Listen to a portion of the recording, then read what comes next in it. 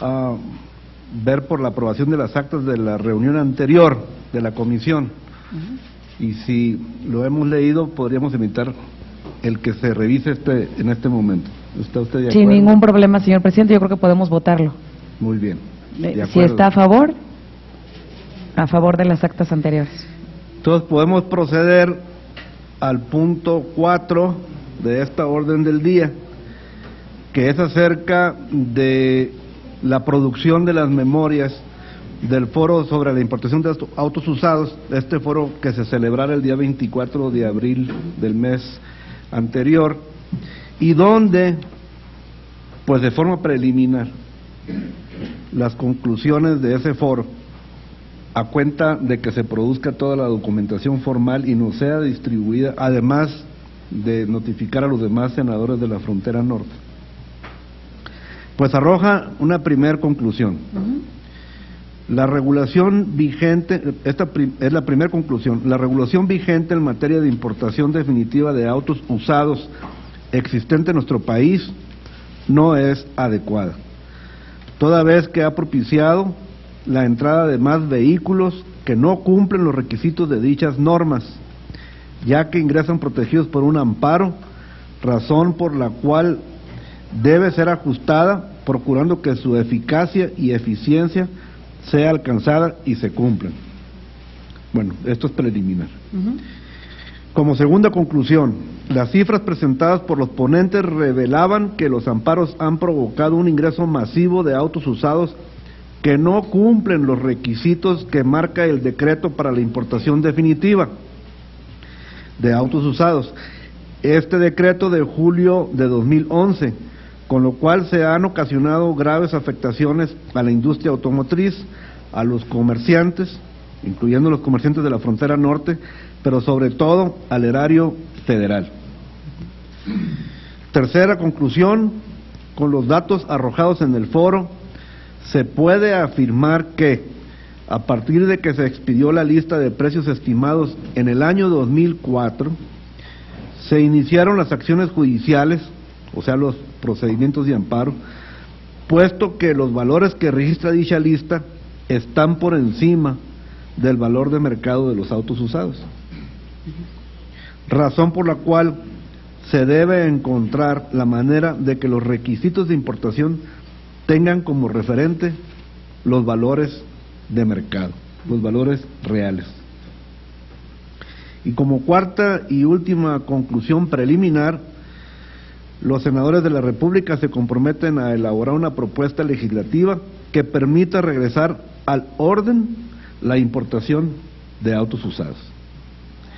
Esto es lo que a bien tenemos que informar después de hacer una somera recapitulación de lo ahí presentado este día 24 de abril pasado y que por lo pronto nos permite decir esto. Pero no tiene otro carácter más que el tener un rumbo genérico de lo que podrá contener pues una propuesta de resolución posteriormente, quizá en una iniciativa al pleno. Muy bien. Y en ese, en ese punto nada más, presidente, reconocer el trabajo que, que usted realizó para poder llevar a cabo este foro.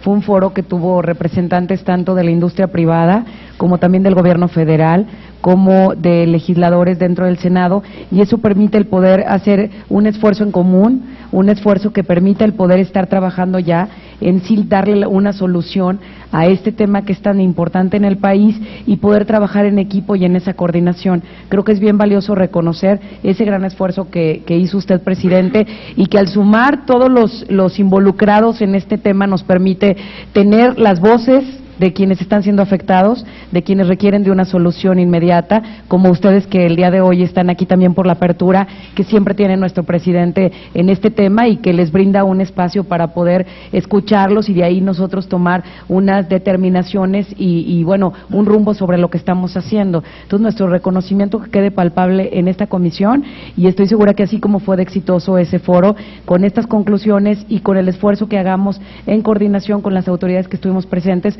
podamos hacer algo en este tema que al final dé una solución a algo que nos interesa muchísimo y que podemos poner una, una solución de fondo a través de una iniciativa que podamos formular. Muchas felicidades, presidente. Muy bien, gracias, secretaria. Y agradecer también su propuesta de que para esta agenda pues incluyéramos a los presentes de AMDA. Con mucho gusto. De alguna manera nos faltaron en aquel foro del día 24 de abril. Muy bien, bienvenidos.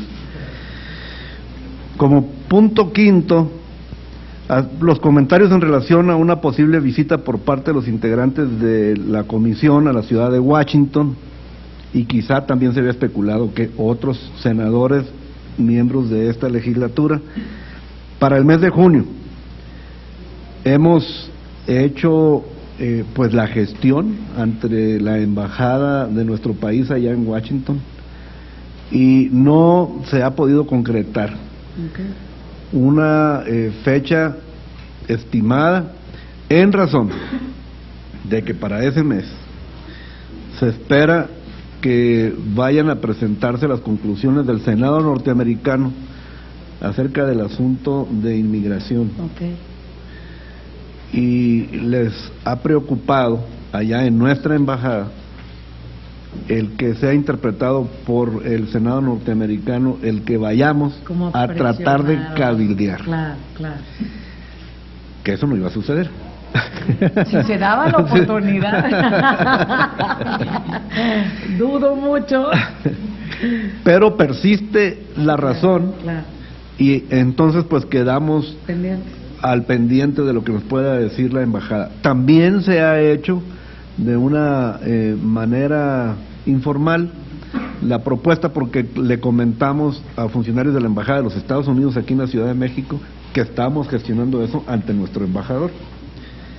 Y bueno, pues están a la espera de ver qué se resuelve por nuestra embajada allá en Washington.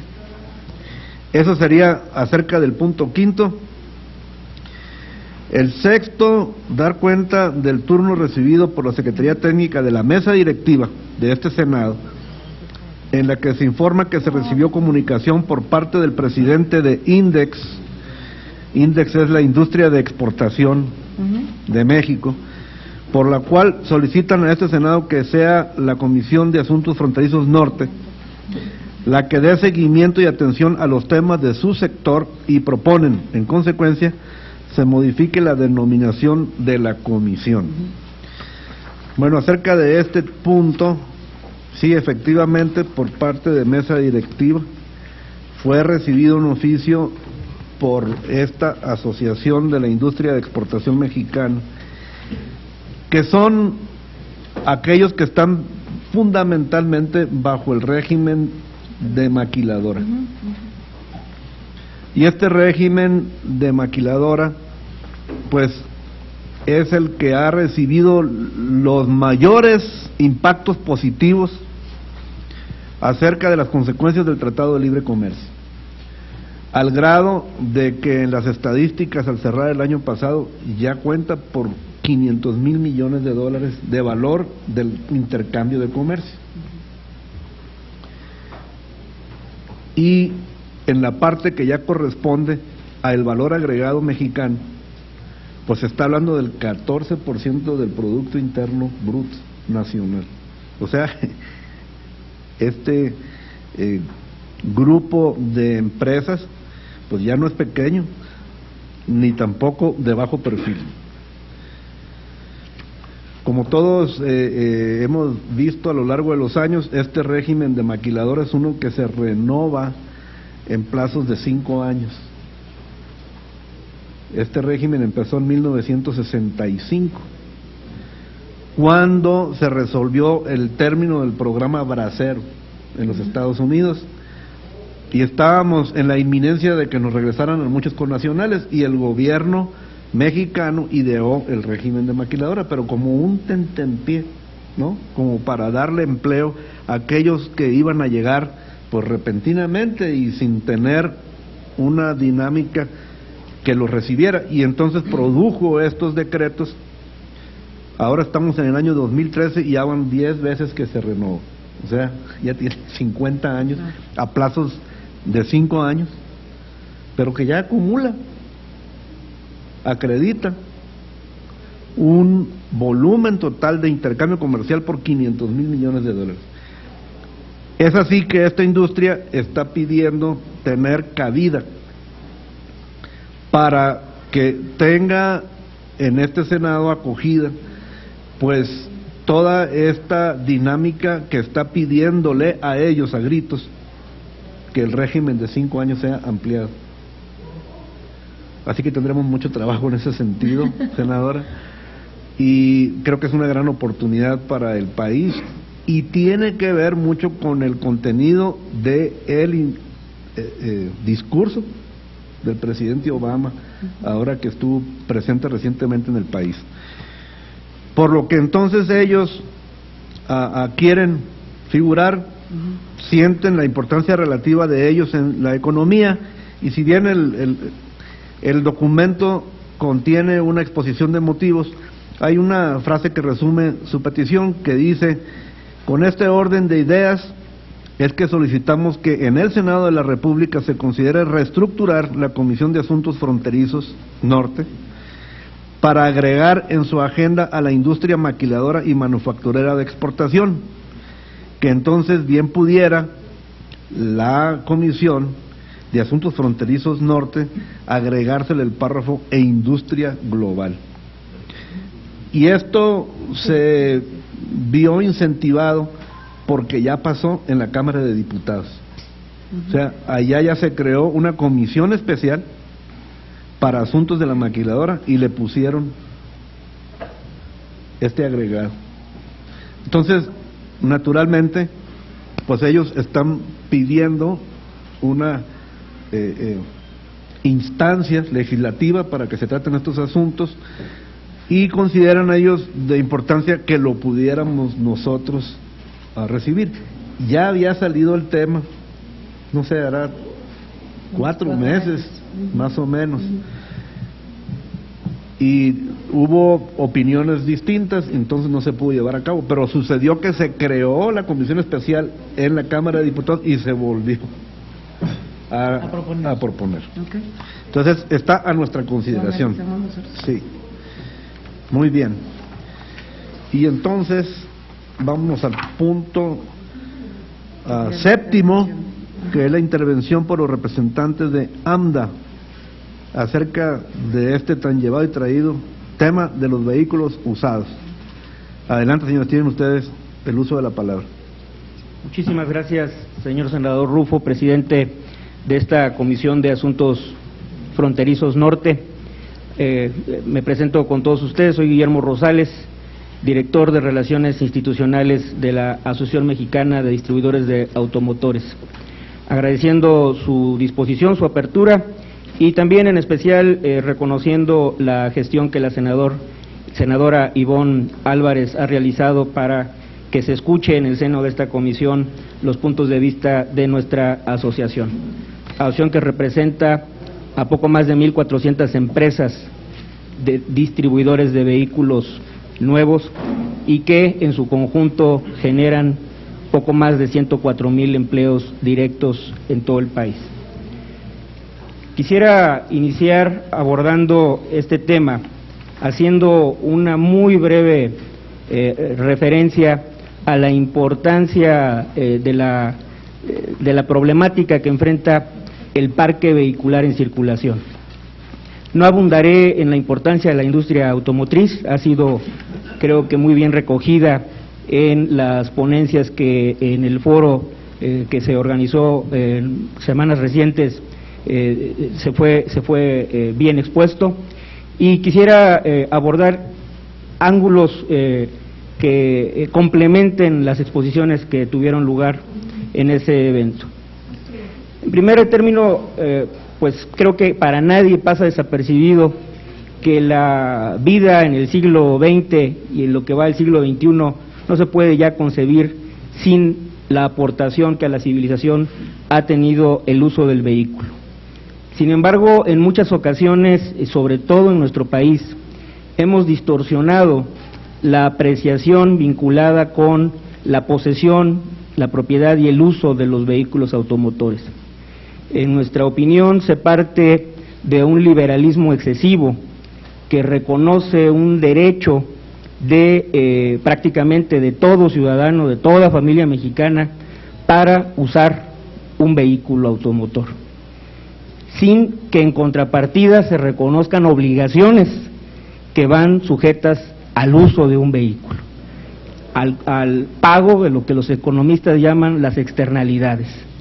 Si bien es cierto, eh, la industria automotriz, eh, la, revolución que causó el uso de vehículo pudo acercar servicios, personas, y que esto ha revolucionado eh, nuestro, nuestro entorno económico y social, también lo es que el uso del vehículo aparejado con él exige el gasto público a efecto de dotar infraestructura urbana.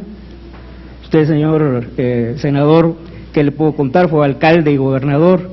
Señora senadora, en su experiencia como presidenta municipal, el esfuerzo que tienen que hacer las autoridades locales para sufragar y mantener la infraestructura urbana. Esto quiere decir que quien usa un vehículo tiene que pagar impuestos, tiene que haber una limitación, una política pública que regule la operación y el funcionamiento de los vehículos. Pero además estamos generando también un impacto ambiental muy importante. Más del 70% de las emisiones móviles son producto justamente del uso de los vehículos. Con todo esto, lo que observamos en nuestro país es una política fiscal errónea que únicamente ha buscado eh, ver al vehículo como una fuente de recaudación, sin que exista en contrapartida un estímulo para tener unidades más limpias, más eficientes y eh, lo que observamos es que en la década pasada el parque vehicular en circulación prácticamente se duplicó. Pasamos en el año 2000 de un parque vehicular poco más de 12 millones. En 2010 éramos ya casi 24 millones y estamos rondando ya poco más de 33 millones entre vehículos ligeros y vehículos pesados, según los últimos datos del registro público vehicular. Dato curioso, en, eh, a partir del año 2006 prácticamente se incrementó en 50% el parque vehicular en circulación. ¿Producto de qué? Producto de en lo que eh, nosotros consideramos fue una decisión equivocada, anticipar la apertura de los vehículos importados usados. A partir de octubre del año 2005 hasta este mes de marzo del año 2013 se han importado legalmente poco más de 6 millones 800 mil vehículos. Esto, eh, si tomamos en comparación usados, vehículos usados, si lo comparamos con la venta de vehículos nuevos durante el mismo periodo, representan el 93.2% de las ventas. Quiere decir que prácticamente por cada vehículo nuevo que se incorpora a la circulación, durante los últimos seis años, siete años, se ha incorporado un vehículo usado importado. Este ritmo de crecimiento no lo tolera la infraestructura urbana, representa un impacto muy importante en las finanzas públicas y debe de ser abordado con una óptica del el beneficio del país. Más allá del impacto que tenga sobre la actividad comercial o los rendimientos económicos de la industria automotriz, que no los soslayo, eh, no, no puedo estar más eh, de acuerdo en que este factor se considere, puesto que representamos al gremio de los distribuidores de automotores, pero consideramos que la función de esta representación, de esta soberanía, debe de ser mucho más amplia que atender los intereses particulares de una industria, de un gremio, de una ciudad, de una región o de eh, un grupo de comerciantes. Debe haber una evaluación integral de cuál es el impacto económico, ambiental, el costo que genera la remediación de eh, la circulación de este parque vehicular. Y solo entonces, a partir del análisis de esta relación costo-beneficio, generar políticas públicas que atiendan mucho mejor el fenómeno. Y en este aspecto hay datos muy importantes que han sido aportados durante los últimos años y que abonan a la conclusión de que la importación de vehículos usados ha traído muchos más costos que beneficios.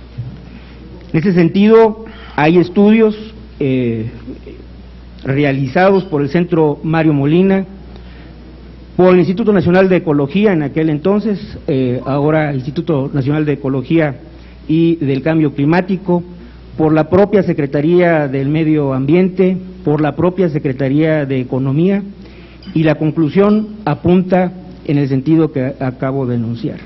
Por darles nada más un dato, en uno de los estudios del Centro Mario Molina, comparando los niveles de emisiones en Ciudad Juárez contra el Distrito Federal. Nos indican que en Ciudad Juárez los óxidos de nitrógeno son 100% mayores que los de la Ciudad de México, los hidrocarburos 99% mayores que la Ciudad de México y el monóxido de carbono poco más del 60% superior en Ciudad Juárez que el Distrito Federal. Por otra parte, estudios del Instituto Nacional de Ecología nos dan una eh, visión muy clara de la estructura de los vehículos que se están importando. Casi dos terceras partes de los vehículos que se importan corresponden a vehículos de tipo de usos múltiples, vans, minivans, eh, SUVs, perdón por el anglicismo, pero es la forma en la que así se, se conocen en, el mercado, y eh, pickups, comparado con la estructura eh, tradicional del mercado mexicano, en el cual 62% de, las, de los vehículos que se venden en México nuevos son autos subcompactos y autos compactos. Es a todas luces evidente la distorsión que genera el que en los últimos seis años, de cada dos vehículos que se incorporan al parque vehicular en México, uno importado, estamos incorporando vehículos viejos, obsoletos, sin regulación en la importación debida y que generalmente eh, poseen una motorización que demanda un mayor uso de combustible, por tratarse de vehículos de mayor, mayor demanda, como son las pickups y las minivans. Y esto no es gratuito, nos está costando a todos los mexicanos.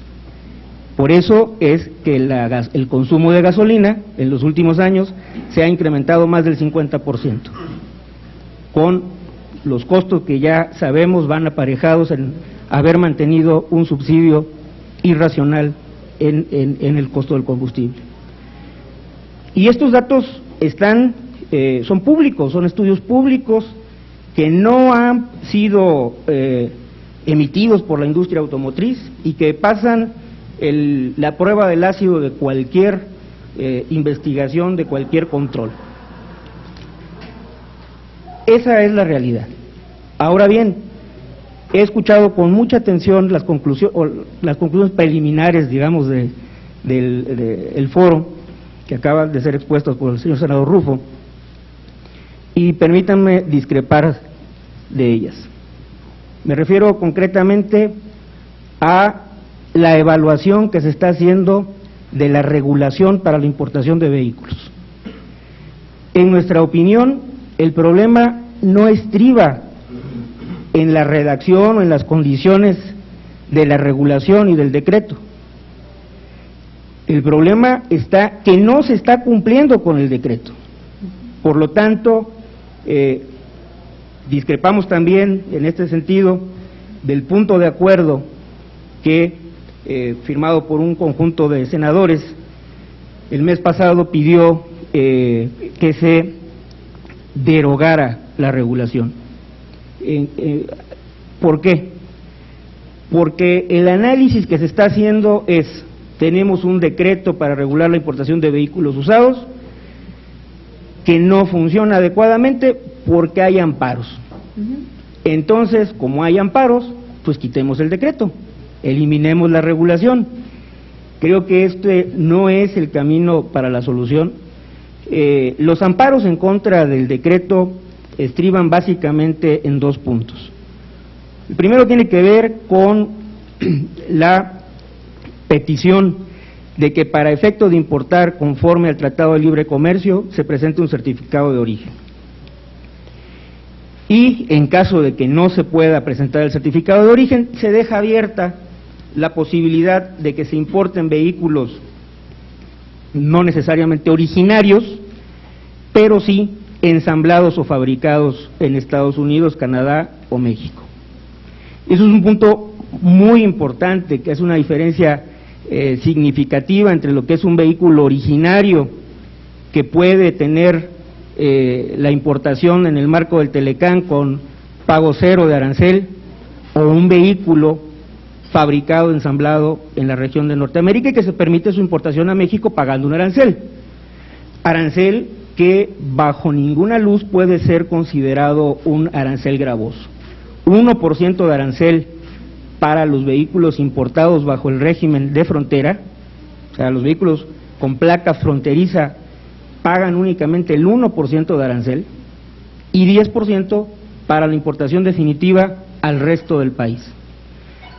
Con esto se, trató eh, de salvaguardar los beneficios que eh, históricamente la diferencia que se ha mantenido para la franja fronteriza. Eh, además de la consideración de que para la franja fronteriza se permite seguir importando vehículos de cinco años de antigüedad en adelante, mientras que para el resto del país es vehículos de ocho años en adelante. Lo que nosotros vemos es, eh, ah, el otro punto que genera los amparos es justamente la relación de precios estimados. Sobre esto, eh, la, la problemática estriba en que conforme a la anterior ley de amparo, el haber tramitado, solicitado el juicio de amparo y obtenido la suspensión provisional o la suspensión, la suspensión definitiva, pues ha generado que en el, en el lapso durante el cual el Poder Judicial de la Federación se ha extendido en la dictaminación y conclusión final de estos juicios de amparo, se estén importando los vehículos sin cumplir con los requisitos marcados en el decreto y por lo tanto generando, como bien se apunta en, en las conclusiones, una competencia desleal entre las el costo de la importación disminuido de quien tiene el amparo en contra de quien no lo tiene. Pero aquí consideramos nosotros, y así lo hemos hecho patente al Ejecutivo y hago propicia la ocasión para solicitarle a esta soberanía su intervención, mediante un exhorto al Poder Judicial de la Federación, es un punto de acuerdo, en el respeto a la separación de poderes para que se acelere y se concluya en definitiva la deliberación de estos juicios de amparo.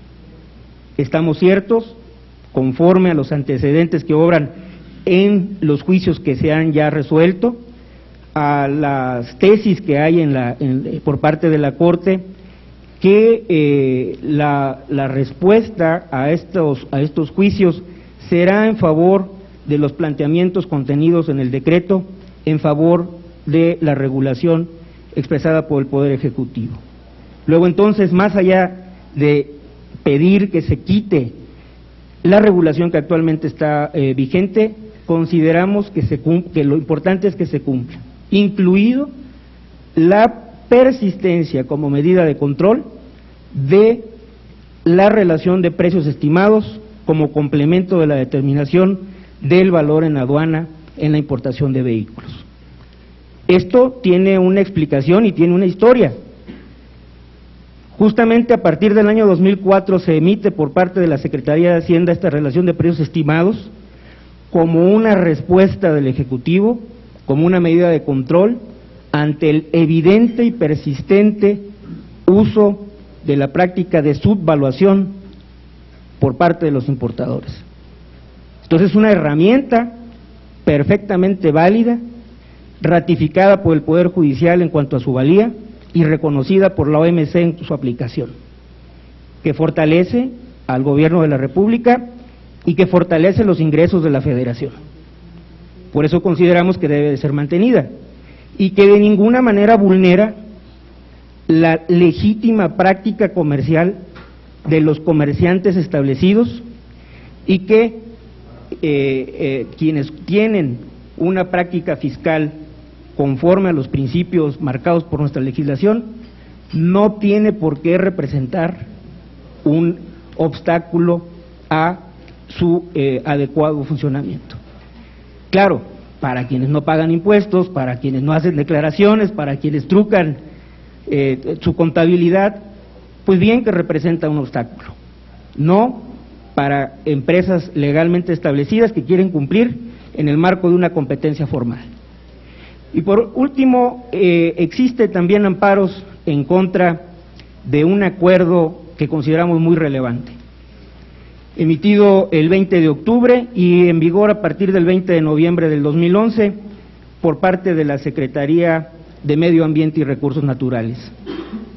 Lo que nos está eh, pidiendo este acuerdo, exigiendo como requisito para la importación de vehículos usados, es que ante la notoria incapacidad del Estado mexicano para llevar a cabo en el punto de importación la prueba eh, de emisiones contaminantes, se reconozca la equivalencia de los certificados de emisiones contaminantes expedidos por algún Estado de la Unión Americana, en un periodo no mayor de seis meses. Creo que eh, no, no cabe dentro de una actitud racional oponerse a las bondades de este principio y eh, justamente también es necesario que se dictaminen en definitiva estos amparos para que se deje de vulnerar el marco regulatorio. Eh, creemos que eh, es perfectamente compatible el funcionamiento de un mercado de vehículos nuevos muy competitivo en México con una sana práctica de importación de vehículos usados. En la Asociación Mexicana de Distribuidores de Automotores jamás hemos pedido prácticas proteccionistas que cierren la frontera. Lo que exigimos es que las condiciones de la competencia se den entre iguales, que la cancha sea pareja. No es posible que el Estado mexicano deje de lado su responsabilidad de velar por la seguridad y la salud y los intereses de los consumidores mexicanos, permitiendo que en los últimos años nos hayamos convertido no en el patio trasero de Estados Unidos, sino en el basurero automotriz de Estados Unidos. Lo que se permite importar son vehículos que en Estados Unidos tienen prohibido circular.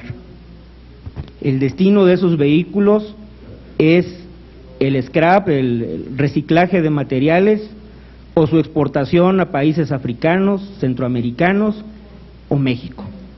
Entonces, creo que como eh, más allá, insisto, de la conveniencia para los distribuidores de vehículos de tener un mercado ordenado, la responsabilidad del Estado y obviamente del Senado como parte del Estado mexicano es hacer esta evaluación que les pedimos mucho más amplia, mucho más integral en cuanto a la conveniencia de regular el flujo en la importación de vehículos usados, de tal suerte que se permitan importar vehículos que en Estados Unidos pueden circular, que complementen la oferta eh, eh, de vehículos en México y no que la desplacen.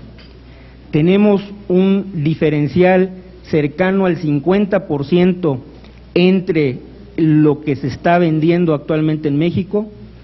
El año pasado se vendieron 987 mil unidades, este año estamos esperando entre un millón sesenta, un millón setenta, eh, y este 50% entre lo que se vende y la demanda potencial.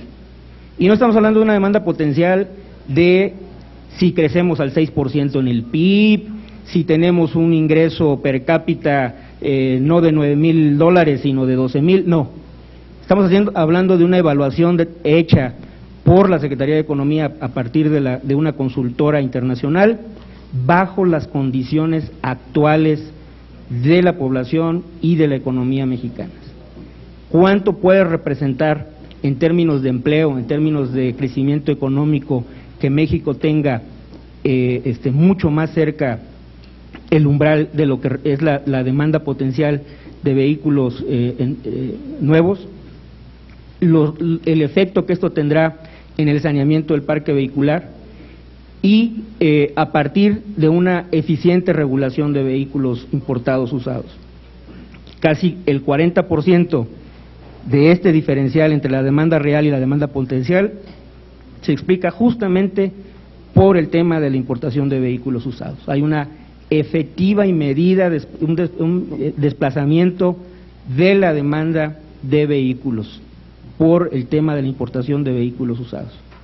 Entonces, sin extenderme más y agradeciendo eh, de nueva cuenta esta oportunidad, eh, concluyo mi intervención reiterando la formal petición de nuestra asociación para que a través de esta comisión se plantee al Senado, eh, al Pleno del Senado, eh, un punto de acuerdo, mediante, que se haga un exhorto al Poder Judicial de la Federación para que eh, se resuelvan en definitiva los juicios de amparo que obran en contra del decreto para regular la importación de vehículos usados, así como del acuerdo de equivalencias de eh, cumplimiento de la norma 041 para la importación de vehículos usados. Asimismo, para que esto sea únicamente el inicio de eh, un análisis integral del fenómeno de la importación de vehículos usados y en complemento con otras comisiones de este Senado, se dé paso a esta evaluación eh, mucho más completa de el impacto que tiene este fenómeno en la economía y en el medio ambiente y en función de ello se eh, generen políticas públicas más adecuadas y en favor de todos los mexicanos. Muchas gracias. Muchas gracias, señor Rosales. Pues si hay alguna formulación de preguntas al respecto de la exposición y usted está dispuesto a contestarlas. Por supuesto. Muy bien. Yo creo, presidente, si me lo permite, para nosotros es bien valioso poder escucharlos a ustedes, saber su sentir, pero también saber los diferentes fundamentos que, que nos han presentado para nosotros poder tomar las diferentes determinaciones. Precisamente la autoridad federal, por parte del gobierno federal, nos planteaban esto mismo que usted ha manifestado, que la problemática no está tanto en el decreto, sino la problemática está en, los amparos que se han dado y que eso es lo que ha abierto la puerta de una manera desequilibrada y en una incompetencia para poder pues estar al mismo nivel de lo que ellos están dando en este momento. Entonces yo creo que la ruta que se va a seguir precisamente es encontrar una solución a la problemática que hoy tenemos. Y todos los comentarios que ustedes han vertido aquí en la mesa serán valorados para nosotros también poder hacer una estrategia y en cómo como Senado de la República podemos nosotros colaborar para poder resolver esta problemática. El abrir la puerta es ver de todos los ámbitos cuáles son las inquietudes que existen, los fundamentos y lo jurídico, para que en lo jurídico nosotros podamos trabajar y de esa manera poder ofrecer una solución como Senado de la República. Pero sí coincidimos en gran parte en algunos de los aspectos que ustedes manejan en materia de amparo. Creo que hay que cerrar esta puerta que se ha abierto de una manera eh, desequilibrada y que esto ha permitido, bueno, la entrada de muchos más vehículos a nuestro país y que no se haya cumplido con este decreto que establece, que regula y que hoy lamentablemente, bueno, se está viendo desequilibrado por, por lo que está pasando en cuanto a los amparos que se están brindando. Entonces, para nosotros es bien importante, tomaremos en cuenta sus consideraciones y bueno, con esa apertura que ha tenido nuestro presidente, una servidora y también senadores que colaboran dentro de la comisión, creo que lo más importante es que sepan que su voz se va a hacer escuchar y que este tema es de interés de muchos senadores y que estamos seguros que, que, vayamos nosotros a encauzar una de las soluciones que pudiera dar a este tema tan importante, ¿verdad? Entonces, bienvenidos y estamos a sus órdenes. Muchas gracias, senadora. La información ya la tienen aquí todos. El resultado de lo que se expuso por los diversos invitados, nos faltaba AMDA. Sí, señor Bolívar. Perdón. Sí, pero todos los, los, conceptos, que acabo de decir los tenemos en... Pues sí, era justamente pedirles que que lo que acaban de platicar nos lo entreguen en un documento porque todos los que fueron al foro, asistieron al foro, llevaron una presentación, eso es lo, está, eso es lo que está configurando las memorias, de anticipamos unas conclusiones, mm, no son de los senadores, ¿eh? anticipamos conclusiones de lo que se dijo en el foro. Entonces, hay que corregir con, con mucho cuidado el decir, perdón, no estoy de acuerdo en las conclusiones de ustedes. No, no, no, no. son del foro. El, el, foro mismo nutre y dice. El, el otro tema es que el acuerdo con AMIA era que la ponencia de ellos incorporaría el punto de vista de ustedes. Si eso no se logró, este, es bien lamentable, ¿no? Pero mándenos su punto de vista porque yo escuché a la mía y tiene este, no solo matices, ¿eh? tiene cosas eh, que, que, difieren eh, de manera profunda, ¿no? Y entiendo que la mía y ustedes, siendo hijos de una misma rama, pues deben de compartir los puntos de vista, ¿no? Siempre, a, así fue el acuerdo con la mía, con el senador Rufo, dijeron, nosotros vamos a hablar en representación de la AMIA y de la AMAC, y eso, eh, perdón, de, de, la AMDA, y eso que quede claro. Entonces, pero como dice la senadora Ivonne, no nos cerramos, denos eh, la, en, por escrito, este punto de vista y este y, y, ya veremos si la lista de precios es o no la responsable, ¿no? Eso es todo un debate porque ahí sí hubo debate en el foro. Hay quienes aseguran, y lo hicieron en el foro, que el problema es la lista de precios. Y hay quienes aseguran que fueron ustedes y la mía quienes empujaron en Hacienda para que se impusiera la lista de precios. No digo yo que haya sido así, ¿eh? Hay quienes dicen que fueron ustedes quienes empujaron esa lista de precios y generaron el desfase del valor del vehículo en el mercado con relación a la lista de precios que está muy por encima de ello. Si motivó o no los amparos eso, o más otras cosas, bueno, pues es, es, son hipótesis, ¿no? No, no, nadie va a poder decir no, y creo que tampoco va a haber quien pueda afirmar que sí, que ese fue el detonador de los, de los amparos, ¿no? Pero este, creo que si antes de entregarnos el documento, eh, yo les pediría un favor en beneficio de los senadores, ¿no? Hablen con AMIA y digan, estamos entregando este documento. Nosotros fuimos a, invitados a la comisión, porque si no después va a llegar a Mía y va a decir, oye, bueno, ¿qué pasó? Pues no habíamos quedado que yo era el conducto o, demás, pero por, por lo demás, con muchísimo gusto tomamos en cuenta como adición a, al momento del foro que ya pasó, pero sí podemos agregar los componentes de ustedes señalando que posteriormente recibimos de parte de ustedes un documento que habla de su punto de vista respecto de los decretos, ¿no? Sí. Sí, adelante. ¿Los invitaron o no? Digo, los de a mía. Muchas gracias. Eh, únicamente para, para hacer respuesta y eh, las puntualizaciones debidas. Efectivamente, yo me estaba refiriendo a que no estamos de acuerdo es a las conclusiones preliminares que son producto de las ponencias eh, presentadas en el foro. No estoy hablando eh, de que sean las conclusiones o la opinión particular del senador, de la senadora, del de, eh, senador Hermosillo o algún otro integrante o del cuerpo técnico de la comisión. En, en segundo punto, efectivamente dentro de la industria automotriz, representada en su cadena por eh, la Asociación Mexicana de la Industria Automotriz, que son los fabricantes de vehículos ligeros, la Asociación Nacional de Productores de Autobuses, Camiones y Tractocamiones, que son los fabricantes de eh, camiones pesados, la Industria Nacional de Autopartes, la Asociación Nacional de Comerciantes de Automóviles Usados, la ANCA, y la Asociación Mexicana de Distribuidores de Automotores, hemos llevado a cabo un esfuerzo de análisis y de gestión para eh, unificar nuestros puntos de vista respecto de eh, el acontecer en la industria automotriz y las propuestas de mejora eh, en, todas las oportunidades que tiene nuestro país en esta, en esta materia.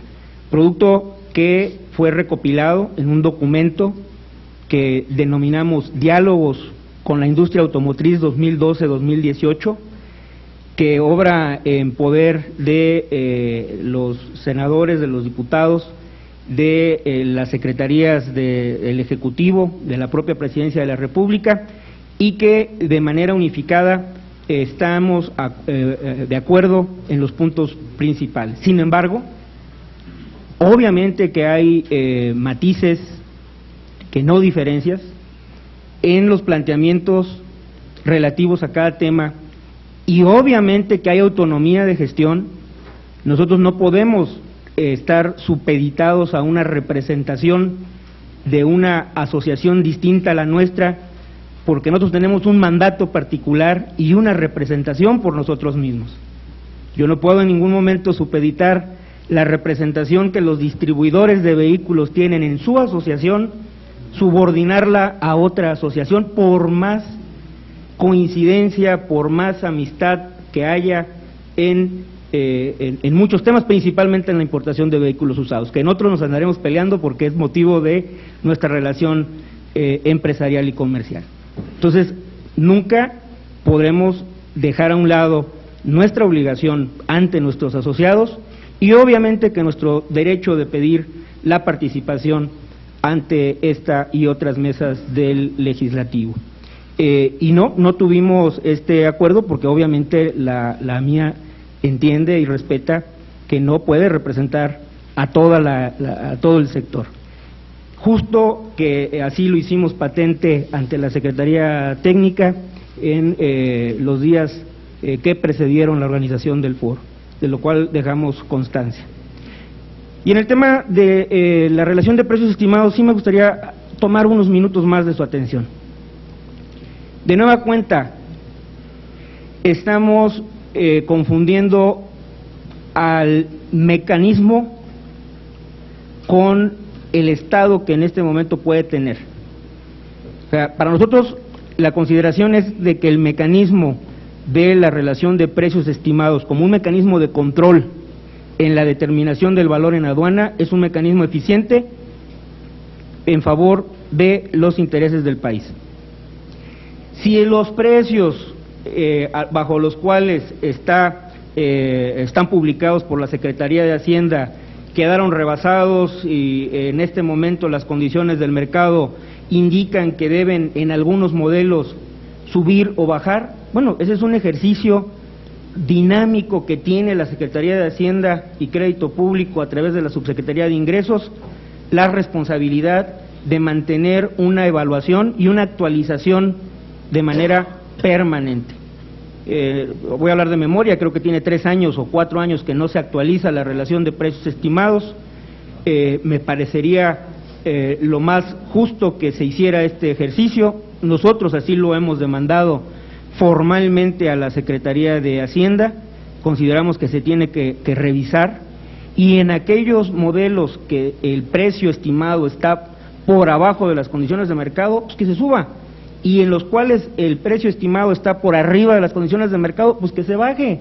O sea, no vemos por qué no se pueda hacer ese ejercicio eh, como una facultad de la autoridad y dejar atrás dimes y diretes. Y yo, en el ámbito de la especulación de qué fue lo que motivó el amparo, los amparos, los diferentes juicios de amparo, si fue eh, la existencia de un mecanismo de precios estimados o no lo fue, pues eso cae en el ámbito de la especulación.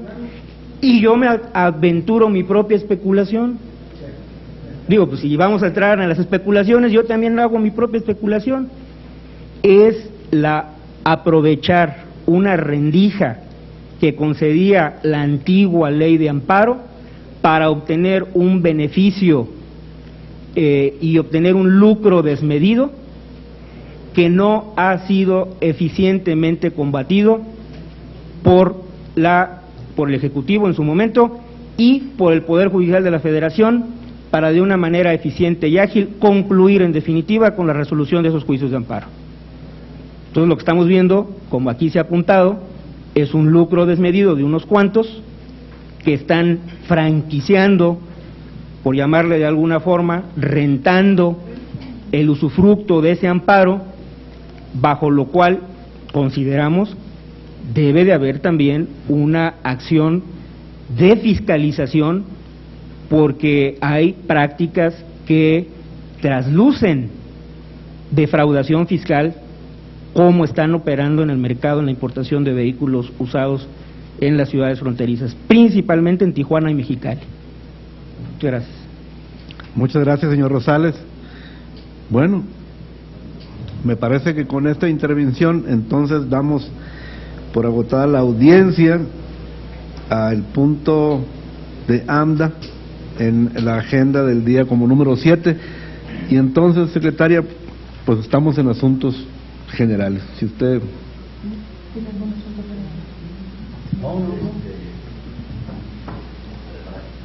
Ajá.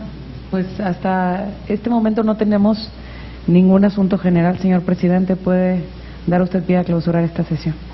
Muy bien, entonces, siendo las 5 y 20 de la tarde de este día 22 de mayo del año 2013, damos por clausurada esta sexta sesión de la Comisión de Asuntos Fronterizos Norte. Muchas gracias por su asistencia.